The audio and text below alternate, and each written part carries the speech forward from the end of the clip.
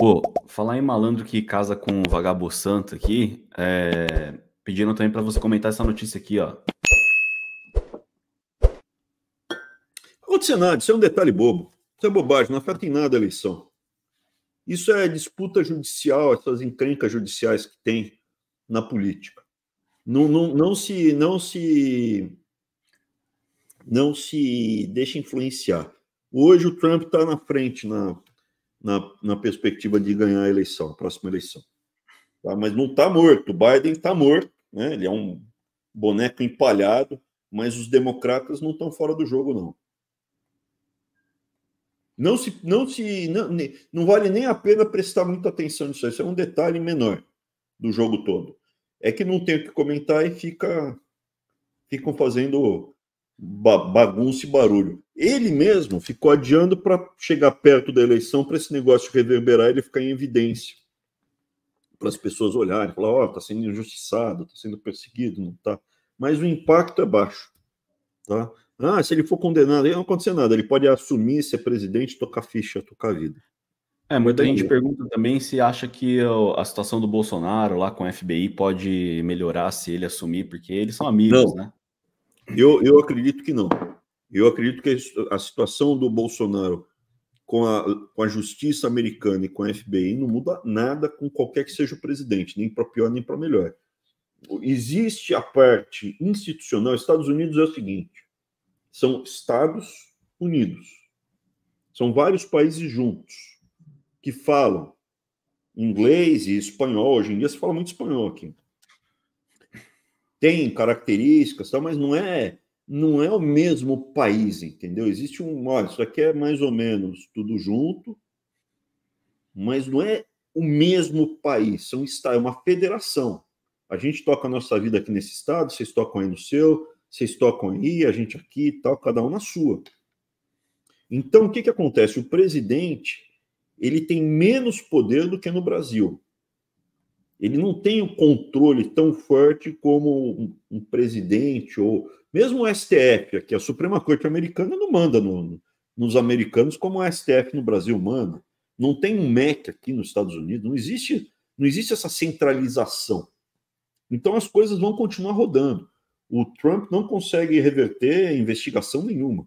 Se ele tentar encostar, ele tá, tá lascado. Imagina, não dá nem para chegar perto um negócio desse. É, é radioativo. O Bolsonaro aqui é radioativo. Você pode ver. Cadê o Elon Musk? Por que, que todo mundo saiu correndo do Bolsonaro? Todo mundo, acabou, meu. Não, ele entrou em evidência, o pessoal foi cavar para ver o que, que ele tinha feito e encontrou um monte de cocô, rastro de cocô na, na, naquela calça lá de 007, que ele, naquele smoke que ele estava usando de 007. Está escorrendo cocô, pingando, tem um rastro de cocô aqui nos Estados Unidos até ele lá fedido, imundo. Aqui no Brasil pode fazer tudo, cara. No Brasil tudo é aceito. Mas aqui acho que não. O que o Bolsonaro fez é.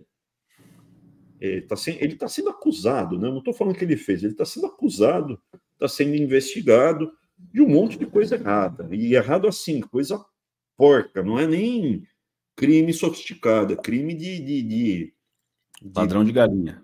Não de galinha, né? De relógio. Né? Joia, lógico. Ladrão mulambo. É, então, mas eu vi aqui, vou até colocar que o, o pessoal da Globo, ele, eles ficaram um pouco é, assustados com um condenado na presidência. Já viu isso em algum país? Cara, meu, isso é bobagem. O pessoal da Globo, meu, não vale, não vale grande coisa. Não, não vai acontecer nada, meu. O Trump condenado aqui com isso aí não vai fazer a menor diferença. Ó, o pessoal ficou... A prisão aqui nos Estados Unidos é um ex-presidente que é candidato a presidente e lidera as pesquisas. Então a gente pode ter uma situação que é bem possível de um condenado já vi isso em algum lugar. a exercer a presidência dos Estados Unidos. Um condenado por um crime pode concorrer à Casa Branca. Inclusive ser eleito e assumir a presidência dos Estados Unidos, ainda que ele acabe atrás das grades e as consequências podem ir para além da corrida eleitoral. Isso gera um impacto na democracia americana, que fica mais fragilizada, mais enfraquecida. Cara, meu, é. assim, eu escuto muita coisa. É, Estados Unidos, Ah, tá acabando, tá acabando. A população está aumentando nos Estados Unidos. A população americana vai crescer, vai para 400 milhões de habitantes aqui. Não vai ser. Os imigrantes continuam chegando. E o imigrante que vem para cá, meu, é, não é como o imigrante que vai para a Europa, que vai lá para pegar um, uma bolsa social e viver de pendurado no, no, no, no auxílio-desemprego e vem da África de bote ou, ou vem do, do, do, do Afeganistão a pé. Tem, tá vindo um monte de africano, mas os caras vêm de avião, cara. Os africanos que vêm para cá, cara, é tudo topo, elite, cara. Cara, meu, bom trabalhador. Você vê os caras bom, meu. Bom. Os africanos que estão chegando, tá chegando africano aqui. É cara, meu, de ponta. De ponta, não é mais ou menos. Tem uma peneira para chegar aqui que é forte essa peneira. E continua vindo. Quer ganhar dinheiro? Onde é que você vai ganhar dinheiro? Trabalhar e ganhar dinheiro. É aqui. Não é no. O, o primeiro, eu quero trabalhar e ganhar dinheiro. Não estou indo lá para fazer malandragem, esquema, sacanagem ou viver de bolsa. Estou indo aí para trabalhar e ganhar dinheiro. Você não pensa nisso, eu vou para Portugal trabalhar e ganhar dinheiro. Se você tiver como escolher, é aqui, cara. Então aqui eu não estou vendo afundar. Ah, decadência, um bando de loucos, tal, cara. Aqui nas escolas públicas que você passa não tem uma pichação. Você chega, tem eventualmente uma outra pessoa de cabelo azul, mas você não compara com a quantidade de doido que tem no Brasil. Está muito mais. A sociedade brasileira existe ali um processo de evangelização, de volta do cristianismo muito forte no Brasil. Mas é um movimento aí que pega 30% no máximo da população, 40% no máximo. Tem gente tatuada aqui nos Estados Unidos? Tem. Mas no Brasil é muito mais. Muito mais. Tem drogado? Vai para Filadélfia. Apareceram as cidades mais violentas do mundo. Aí tava, tava vendo lá, né? É... Memphis, no Tennessee. Pô, eu tava em Memphis, tem vídeo meu em Memphis. Não, não, cara, meu, não sei como é que se lance de violência aí, não. Deve ser lá, eles se matam lá, os drogados lá no, nos cafundó, porque, meu, você anda sossegado na cidade, zero, não dá medo. Daí tem outra lá, Nova Orleans, eu vou, já fui para meu medo zero. Nova Orleans é tranquilo. Tem uma cidade, tem uma cidade que eu fiquei assim, que é Baltimore. Baltimore eu, eu olhei assim, Filadélfia, eu fui para Filadélfia, tem drogado lá em Filadélfia, tem bastante, tem uma Cracolândia, mas, meu, não dá para comparar com São Paulo, não dá para chegar perto. Tem os drogados maluco lá? Tem, mas não dá para comparar. Eu sei que o Dunga, ele, ele quase foi roubado aqui, mas é que o Dunga é pleiba, né, Dunga? é que uh, eu, é, eu, ainda frequento lugares que você, estando aí, não frequenta, entendeu? Não, não frequento lugar que eu não frequento. Ah, e sobre essa do Trump aí, só para a gente fechar antes das perguntas, o, o Biden ele se manifestou aqui, vamos ver.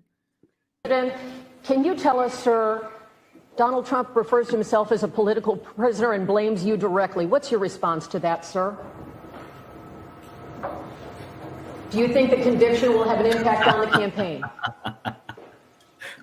We'd love to hear your thoughts, sir. Totalmente cavado, pelo amor de Deus. Não, esse cara daí não, não prestava quando era jovem, de velho tá completamente gagá, meu. completamente gagá. Meu.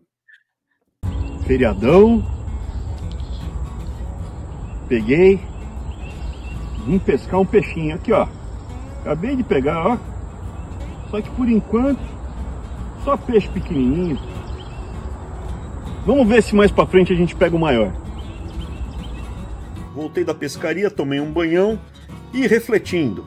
Cada peixe a sua isca, para pegar bolsonarista. Aproveitando, dado que a gente falou de relógio, próxima sexta-feira vai entrar o Sem Filtro, novo horário, às 8 horas. A gente se vê lá. Abraço.